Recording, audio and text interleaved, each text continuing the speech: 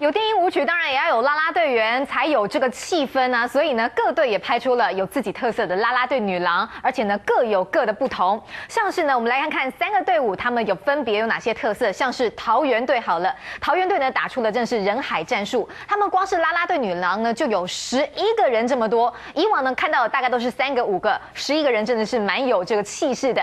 而另外统一师队呢，他们搭配的除了啦啦队员以外呢，还有可爱的大玩偶，所以呢走的是比较清纯的路路线。至于今年才刚刚加入的义大犀牛队，他们就真的是蛮辣的。仔细来看一下，裤子穿的好短好短，因为义大犀牛队他们走的就是性感路线，而吸金女孩也真的是超级吸睛。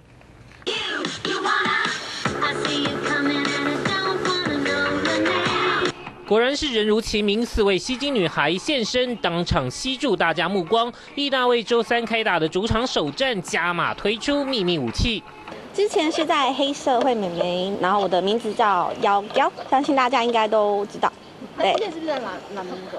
啊，之前在统一师。有黑社会美眉，也有前统一或 Lamingo 的啦啦队员，这些吸金女孩火辣指数破表。棒球场结合的就是力跟美嘛，那力就是交给球场的这个球员，那美的部分就交给我们这个吸金女孩。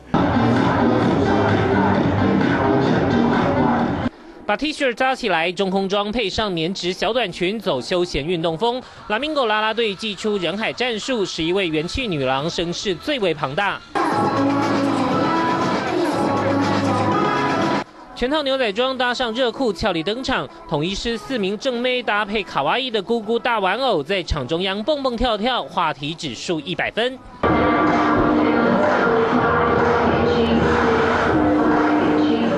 啦啦队员卖力表演，努力程度不输场上球员，唯独兄弟少了这些美女助阵，也少了些可以宣传造势的话题。东森新闻郑世新、张江南在台北采访报道。